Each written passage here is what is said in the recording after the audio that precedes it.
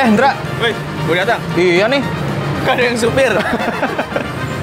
eh, hari ini kita siaran ngomongin Hari Perempuan. Hari perempuan. Kenapa nih?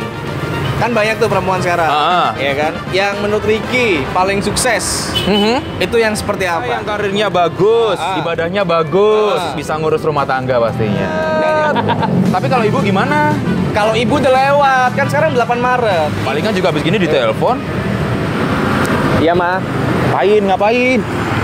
Iya, udah dimakan, bekalnya udah. Aduh.